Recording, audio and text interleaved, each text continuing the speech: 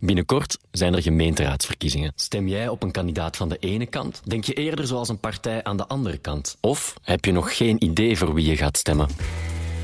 Het Nieuwsblad houdt de vinger aan de pols tijdens de gemeenteraadsverkiezingen. Want dankzij ons weet je wat er leeft in jouw buurt. Zo weet je nog beter of je straks links, rechts of ergens in het centrum gaat stemmen. Lees nu met 50% korting op nieuwsblad.be slash actie. Het Nieuwsblad podcast. De stemmen van Assise. Hallo, mijn naam is Mark Klefman, misdaadreporter bij het Nieuwsblad. En ik ben Cedric Lagast, journalist bij diezelfde krant. En dit is onze podcast, De Stemmen van Assise, waarbij we u meenemen achter de schermen van elk belangrijk proces. En dit keer hebben we het over een dispuut tussen twee liefdesrivalen. Wat eindigde met de dood van één van hen. Was het een ongeval of een moord uit jaloezie?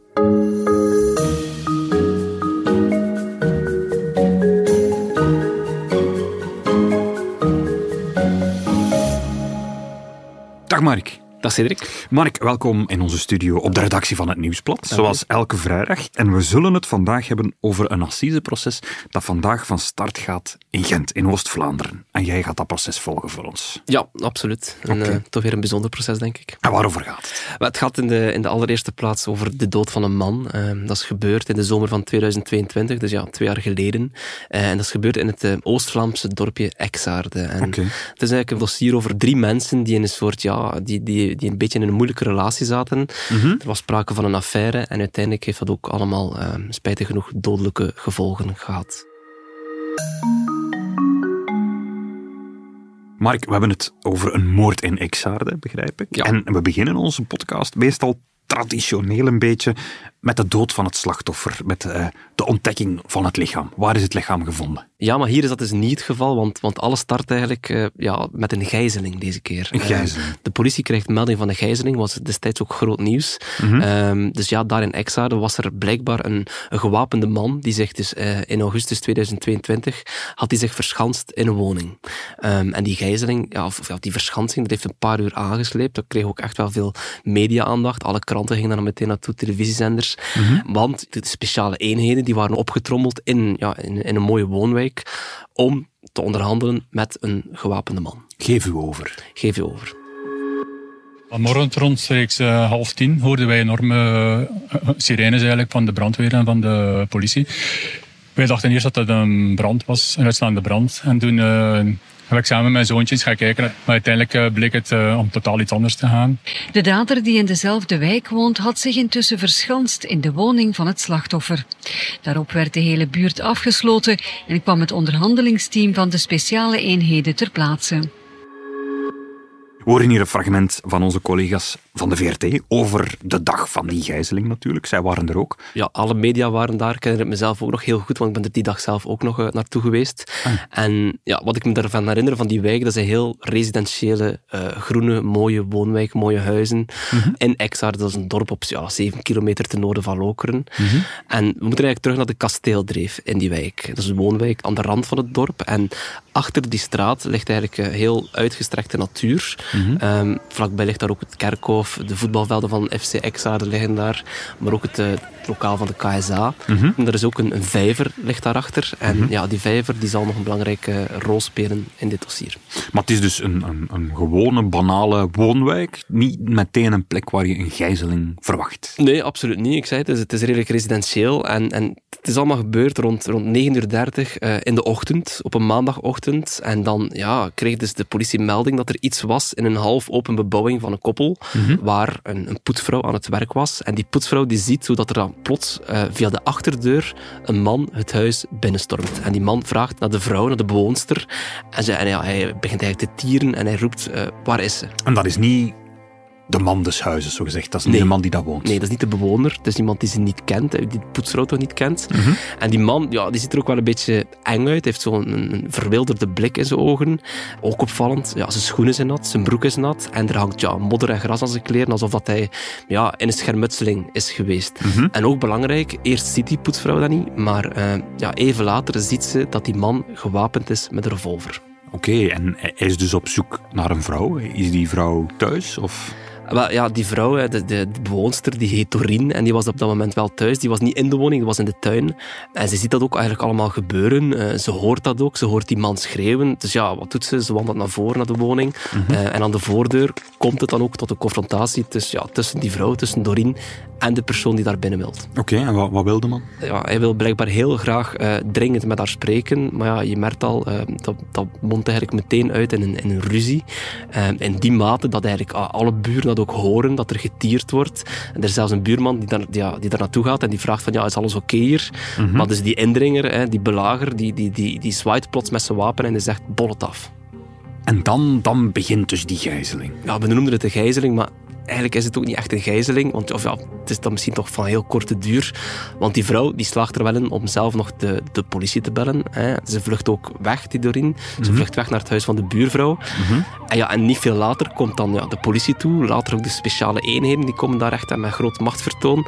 Mm -hmm. En ja, op dat moment zit die belager, die indringers, daar dan alleen in het huis. Dus het is eigenlijk eerder een, ja, een verschansing in plaats van een gijzeling. En die man komt niet zomaar naar buiten als de politie dan voor de deur staat.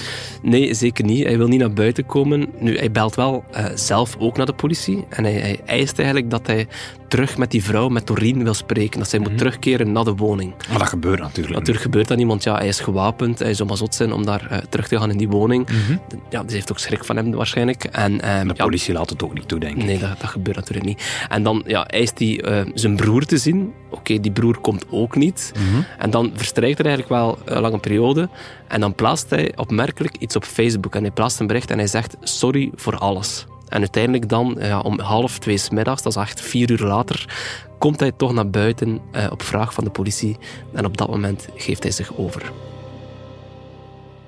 Uiteindelijk was hij bereid om uh, te onderhandelen, te spreken met uh, de speciale eenheden. Die hebben op hem kunnen inpraten, zodanig dat hij zich vrijwillig overgegeven heeft. Hij is naar buiten gekomen met het wapen.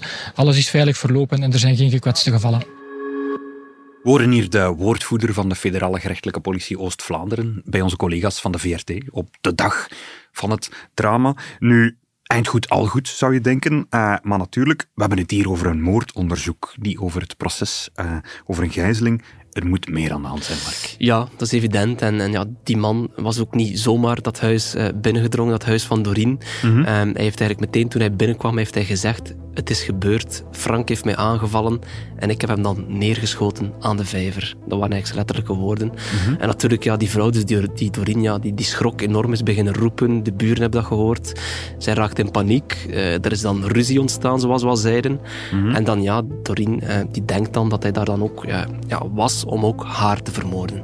En klopt zijn bewering eigenlijk? Of, of is het grootspraak? Heeft hij echt iemand neergeschoten. Maar ik kan je wel voorstellen dat dan meteen uh, wordt gekeken aan die vijver, dat de politie zich daar naartoe haast om te kijken, ja, ligt daar effectief iemand, ligt daar een slachtoffer? Mm -hmm. uh, dus, dus dat is dan de vijver waar we het net over hadden, vlakbij mm -hmm. die woning.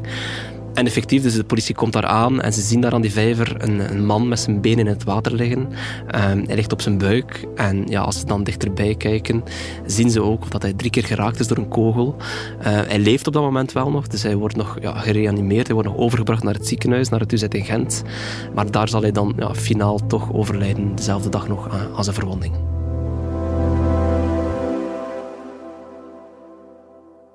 Mark, een gijzeling, of eigenlijk een verschansing moet ik zeggen, in het uh, rustige Oost-Vlaanderen, dat leidt uiteindelijk naar een man die met drie kogels is doodgeschoten. En, en die man is ook de echtgenoot van die vrouw die daar bezoek krijgt. Dus het lijkt me dat het ja, toch om dat koppel draait. Well, ze zijn inderdaad een koppel, hè. Een, eigenlijk een heel normaal Vlaams uh, doorweeks koppel. Hè. Dus de man heet Frank de Vleeschouwer. Hij is de, hij is de man die dus dan ja, het slachtoffer is, die is neergeschoten aan de vijver. Mm -hmm. En Frank die was um, 42-jarige makelaar, hij was makelaar van beroep. Mm -hmm. um, en, en zijn vrouw, hè, we hadden het al over Doreen, zij is 38 en um, ja, zij werkte in een interimkantoor. Ja. En die twee leerden elkaar uh, kennen tijdens hun studies in Gent. Die zijn eigenlijk uh, meteen ja, een relatie gestart dan. En die waren dan al twintig jaar samen. Die zijn ook getrouwd. Ze hebben twee kindjes, twee zonen uh, van 9 en 11 jaar. Dus eigenlijk een normaal gezin uh, voor de buitenwereld. Oké, een, een, typisch doorsnee koppel begrijp ik. Maar dan komt dan plots die, die derde persoon naartussen gewandeld met, met dat wapen.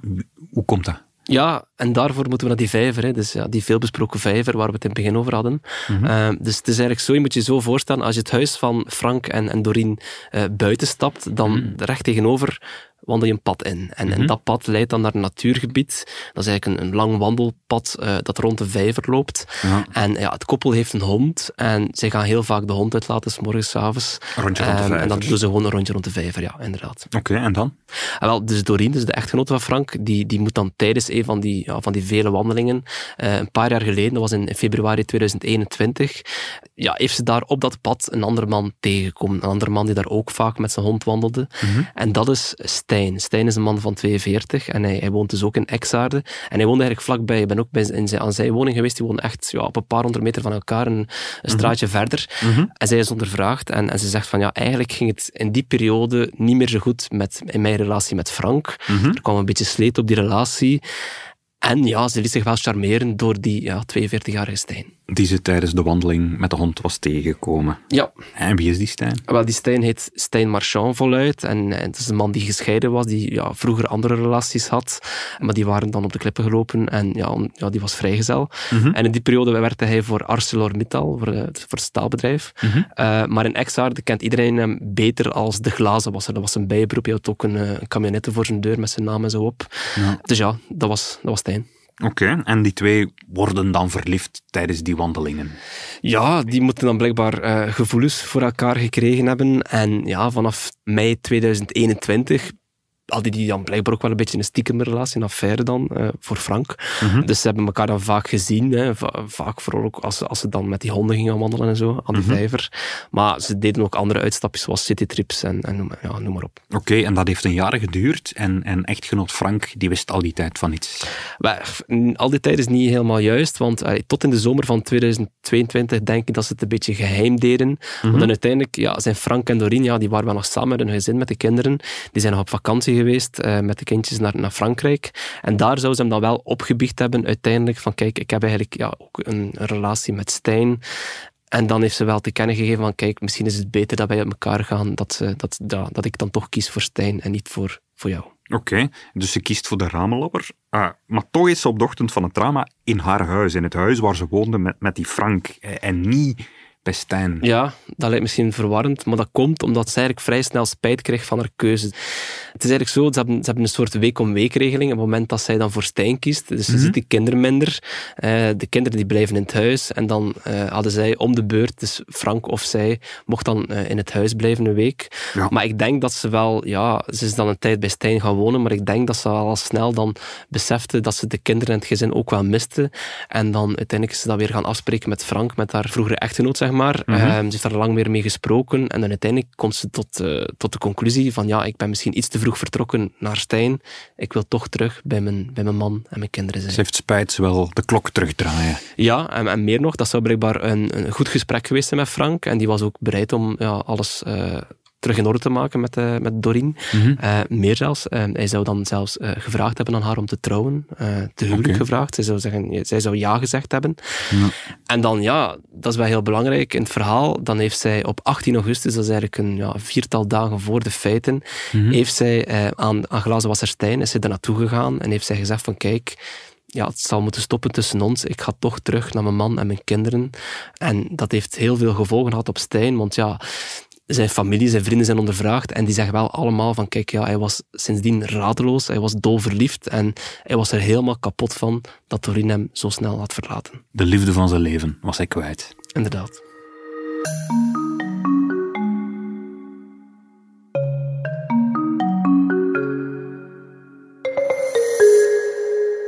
Ik zie daar een motief op doen, Mark. De glazenwasser is, is dolverliefd op een vrouw die hij heeft leren kennen eh, tijdens het uitlaten van de hond.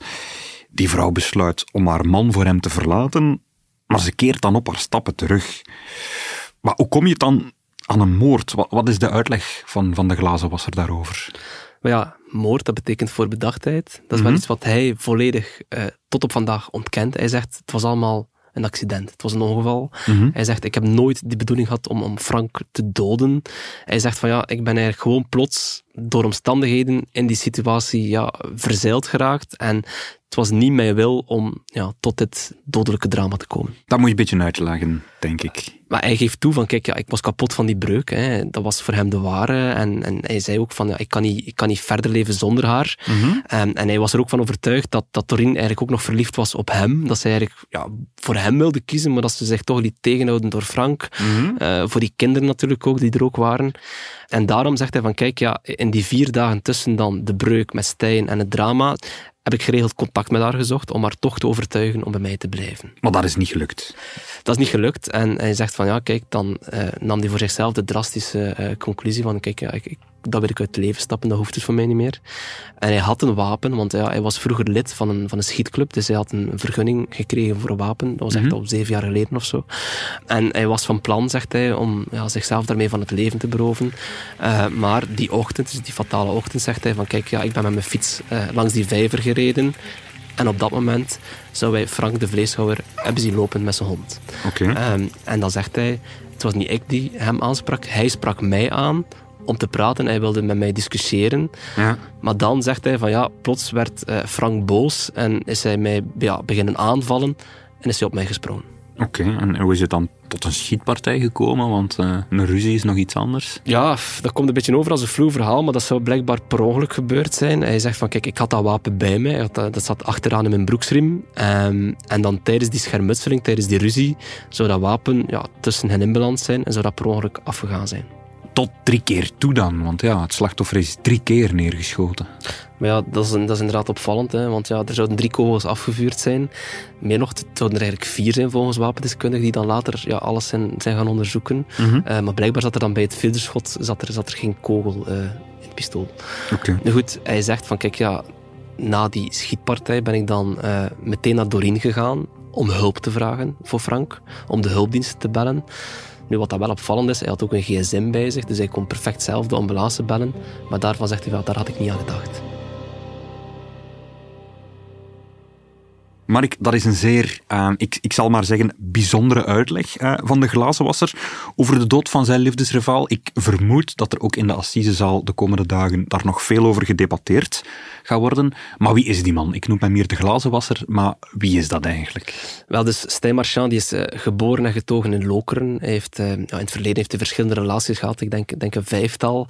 Um, en uit twee van die relaties heeft hij ook een dochter en een zoontje. Alleen met die, met die laatste heeft hij nog contact, dus met zijn dochter heeft hij geen contact meer, die heeft gebroken met hem. Mhm. Mm -hmm. Maar ja, verschillende ex-vriendinnen die zijn ja, tijdens het onderzoek de voorbije jaren ook ondervraagd en die zeggen van, kijk ja, Stijn Marchand is iemand die ja, afhankelijk heel lief kan zijn, charmant, attent, grappig. Uh, maar naarmate de tijd dan vordert, of als je dan in een relatie zit, dan kan je ook wel heel, ja, dat zeggen ze toch wel, manipulatief zijn, uh, bezitterig, controlerend, ja, misschien zelfs een beetje versmachtend ook. Dus dat was eigenlijk wat Dorin meemaakte toen dat ze bij hem ja, In die korte periode, want het gaat over een paar weken maar. Hè. Uh, maar inderdaad, ja, en, en verschillende ex-partners die zeggen van, kijk, ja, na het beëindigen van die relatie, dan, dan is hij ook mij ook beginnen stalken. ja, een beetje het verhaal dat we ondertussen ja, vaak horen in de kranten. Mhm. Mm -hmm. waarbij hij dan, dan belde, berichten stuurde, maar ook ja, overal opzocht. Eén vrouw die ging zelfs ja, echt terug bij haar moeder gaan wonen om, om hem te vermijden. Mhm. Um, en dat duurde soms ja, blijkbaar maandenlang. Dus ja, het lijkt er zo wel een beetje op dat hij toch ook wel moeite had om ja, zijn, zijn ex-partner los te laten als de relatie was afgelopen. En is dat ook onderzocht? Want ik weet dat er op een assiseproces ook gerechtspsychiaters langskomen. Ja, dat is klassiek hè, bij een assiseproces. En, ja, of, of op zijn minst bij het onderzoek al. Mhm. En ja, inderdaad, er zijn psychiaters die hem onderzocht hebben en die, uh, die, moeten wel, ja, die, die komen toch tot de conclusie dat hij wel een, ja, een snel gekrenkt zelfgevoel heeft en dat hij ook wel uh, ja, een beetje een narcistische persoonlijkheidsstructuur, noemen ze dat dan, uh, vertoont. Oké, okay. maar de hamvraag is natuurlijk, geloven we hem? Geloven we hem als hij zegt dat het een ongeluk was? Of, of beter, zijn er eigenlijk aanwijzingen die zijn verhaal een beetje ondersteunen, die aantonen dat het inderdaad een ongeluk kan zijn geweest? Maar dat is natuurlijk voer voor discussie voor tijdens het assiseproces. Um, goed, de speuders die hebben wel duidelijk uh, vragen bij zijn uitleg. Er zijn wel een aantal vraagtekens die zij plaatsen bij, bij zijn verhaal. Mm -hmm. Bijvoorbeeld het feit dat hij Frank de Vleeshouwer, dat hij het slachtoffer ja, daar s ochtends vroeg uh, toevallig tegenkwam. Uh, ze bekijken wat hij natuurlijk heeft gedaan de voorbije dagen, de dagen voor de feiten. Dus, ja, vooral de dagen tussen de breuk, op 18 augustus en, en 22 augustus, wanneer dat de feiten plaatsvinden. Mm -hmm. En ja, er zijn camerabeelden onderzocht en daaruit blijkt dat hij heel veel aan die vijver is gepasseerd met zijn hond. Ook aan het huis met het koppel is daar heel vaak gesignaleerd. Soms drie, vier keer per dag. Mm een keer met hond, keer zonder hond. Soms zien ze hem daar ook staan aan de overkant van de straat. Hè. Dus het koppel zag dat dan ook. Ehm, en ja, en die zondagavond, dus de avond voor de feiten, is, is Frank de Vleeschouwer daar ook gaan wandelen met zijn schoonmoeder om te praten over heel de situatie, over het feit dat ze zich niet veilig voelen voor Stijn. Mhm. Ehm, en dat is een getuige die heeft verklaard aan de politie dat hij op dat moment een, een man heeft gezien die aan de overkant uh, van de vijver zat, die een beetje gehurkt zat, en die die mensen, ja, die dus Frank en zijn moeder of zijn schoonmoeder uh, in, in de gaten hield. En, en, dat zou dan de glazenwasser geweest zijn, die eigenlijk hen in de gaten aan het houden Ik veronderstel dat de speurders dat wel vermoeden, maar dat is, ja, dat is niet helemaal duidelijk, want ja, Stijn Marchand die is daar natuurlijk over ondervraagd en hij zegt van nee, ik was daar niet, dat was ik niet. Okay. Nu, feit is wel, uh, uit alles blijkt dat hij wel ja, steeds contact bleef zoeken met Doreen, maar ook met, met, met Frank. Uh, hij wilde daarover ja, praten, blijkbaar. Hij wilde... -hmm ja, hij wilde Doreen terug hebben. Hè. En heeft dan ja, blijkbaar Frank de Vleeschouwer ook Facebook-berichten zitten sturen. Uh, hij is opgedoken in een winkel recht tegenover zijn uh, makelaarskantoor. Mm -hmm. En Frank de Vleeschouwer die geeft ook de kennen aan familie en vrienden op het moment dat hij nog leeft. Van ja, die glazenwasser die, die, die, die, die duikt hier drie, vier keer per dag op. Dat is hier, dat is hier niet normaal. Eigenlijk, eh, dat gezin wordt vier dagen lang gestalkt door de glazenwasser. Maar ja, zij voelen zich achteraf gezien echt wel belaagd in die, in, in die vier dagen. Maar het is wel heel opvallend dat, dat Stijn Marchand dat helemaal anders beleefd. In zijn visie zocht Doreen wel nog toenadering de dag voor de mhm. feiten uh, met hem. Zouden ze nog geknuffeld hebben? Uh, zouden, zou zij gehuild hebben omdat ze zogezegd liever bij Stijn wilden zijn dan bij Frank en de kinderen? Mhm. Maar opvallend is dat, dat Doreen zelf daar een heel ander verhaal over heeft. Dat zij zegt van kijk, ik ben nog de dag voor de feiten heb ik nog de politie gebeld.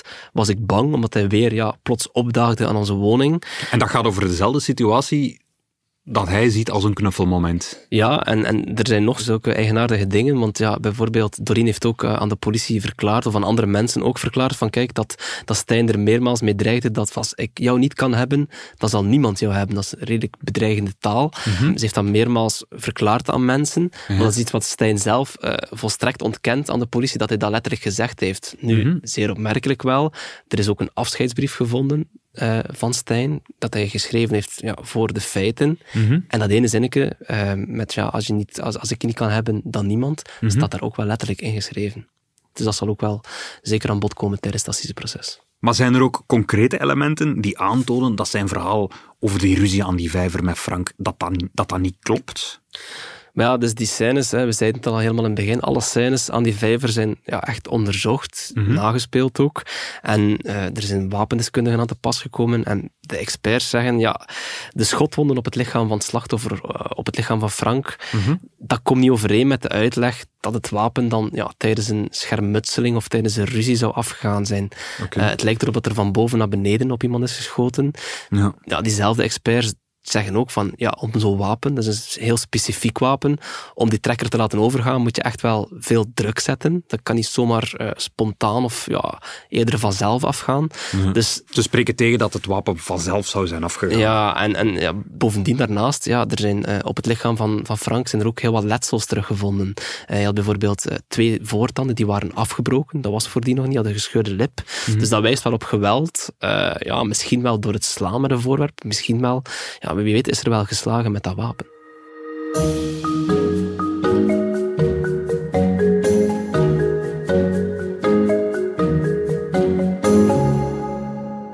Het is dan ook zo dat de beschuldigde toch nog uh, zijn aandeel, zijn, zijn intentioneel aandeel betwist. En je zegt dat de schoten die afgevuurd werden op het slachtoffer, dat dat per ongeluk is geweest. Dus dat hij dat niet bewust heeft gedaan.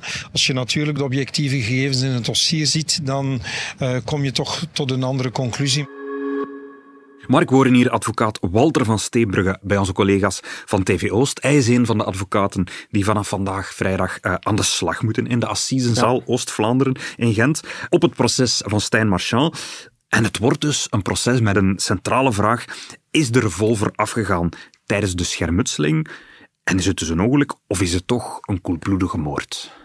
Ja, het is een proces met veel inzet, toch zeker voor, uh, voor Stijn Marchand. Nu, het Openbaar Ministerie denkt alvast het, het tweede, hè, dat, het, dat het wel degelijk om moord gaat, mm -hmm. dat mhm. het om voorbedachtheid gaat, dat het een plan was waarom hij dat wapen meenam ja. die ochtend aan die vijver, uh, ja, waar hij dan ja, al dan niet toevallig Frank de Vleeschouwer tegenkwam. Mm -hmm. Nu, ook opvallend, hij wordt ook vervolgd voor de, de moordpoging op, op Doreen. Omdat hij ja, daar toch ook is binnengegaan met een wapen. Dan was er nog die verschansing, die gijzeling. En je hebt ook het zinnetje, als ik haar niet kan krijgen, dan niemand. Dat duidt toch ook al... Dat is iets wat volgens mij veel aan bod zal komen tijdens het proces.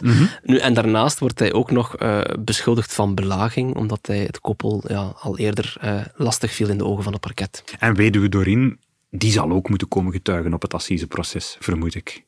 Ja, en ik denk dat dat een moeilijk moment zal zijn voor haar ook, want uh, haar, haar, advocaat uh, Walter van Steenbrugge gaf ook al aan dat het uh, voor haar een moeilijke week zal worden, heel dat proces. Mm -hmm. Maar zij wordt wel een beetje beschouwd als, als de belangrijkste kroongetuige natuurlijk in dat dossier. Dus ja, ja waarschijnlijk zal ze hem dus wel recht in de ogen kijken tijdens het assiseproces. Ja. Oké, okay. en is Marchand nog altijd verliefd op haar? Wel, ja, dat is wel opvallend, want um, dus ja, ja, we hadden het al kort uh, gezegd, dus er was een afscheidsbrief gevonden dat hij geschreven had en daarin zei hij van ja, ik, ik kan niet meer leven zonder Doreen. Mm -hmm. Dat blijkt nu toch te lukken, want ja, hij zit uh, nu twee jaar in de gevangenis um, en ondertussen heeft hij daar blijkbaar een nieuwe relatie. Dus hij heeft, er is een, een vrouw die hem bezoekt, dus een, een verpleegster, een Gentse verpleegster, mm -hmm. en die is hem al ja, redelijk snel gaan bezoeken in de gevangenis en dan in, in maart 2023 uh, blijkt uit het onderzoek dat hij, ja, dat is dan zeven maanden na de feiten, heeft hij dan ook gezegd tijdens de reconstructie van, de, van, van heel het verhaal, -hmm. heeft hij gezegd van kijk, ja, ik heb een nieuwe relatie en ik hoop ook uh, snel ongestoord bezoek te krijgen van mijn nieuwe vriendin.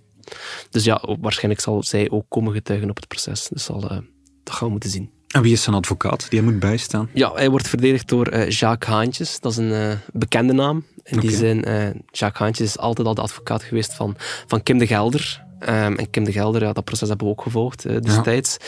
Jacques Haantjes moest het toen opnemen tegen, ja, ik denk een twintig, dertigtal advocaten, onder wie ook chef Vermassen. Chef Vermassen die vandaag ook zal optreden tijdens dit proces. Ze zullen elkaar terugzien voor ook het eerst zij zullen lang. elkaar opnieuw in de ogen ja, moeten kijken. Chef Vermassen die treedt op voor, uh, voor de nabestaanden van, uh, van Frank de Vleeschouwer. Mm -hmm. um, hij gaat dat samen met Stefan Schelling doen.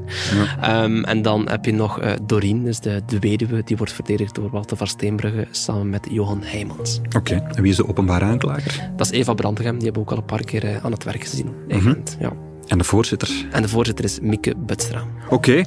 dankjewel Mark. Dankjewel om deze zaak opnieuw te komen toelichten hier in de studio. Graag gedaan. Je gaat het proces voor ons volgen. Wij kunnen meevolgen in de krant, op de website en in de app. Hoe lang gaat het proces duren? Meer dan een week. Meer dan een week, oké. Okay. Uh, maar we zijn er volgende week al opnieuw terug uh, met een nieuwe aflevering van de Stemmen van Assisen. Dat zit Pieter hier en dan gaan we naar Limburg.